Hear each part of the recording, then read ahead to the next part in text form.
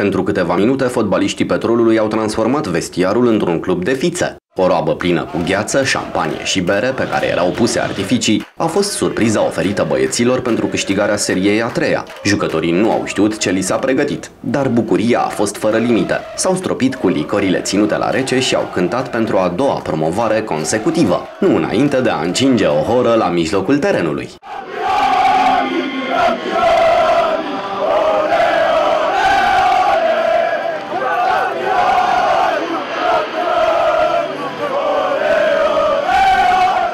Accesul în Liga a doua a fost sărbătorit și cu fanii, cei care susțin petrolul oriunde ar juca echipa. Fotbaliștii au mers la peluza întâi, tribuna a doua și peluza latină pentru a se bucura împreună cu cei care reprezintă pilonul de rezistență al unui club.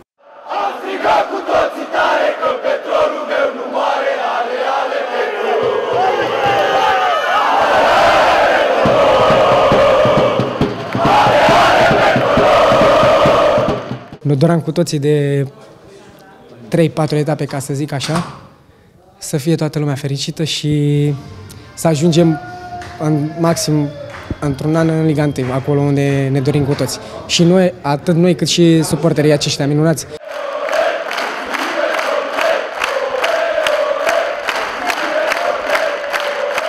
Este bucuria muncii noastre și trebuie să, acum putem să ne, să ne bucurăm și să sărbătorim pentru că promovarea este judecată.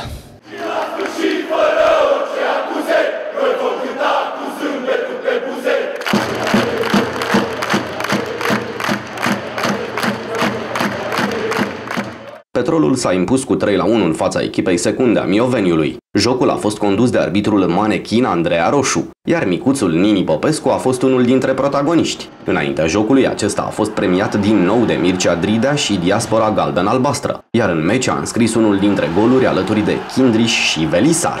Pentru oaspeți a marcat Comănescu din lovitură liberă.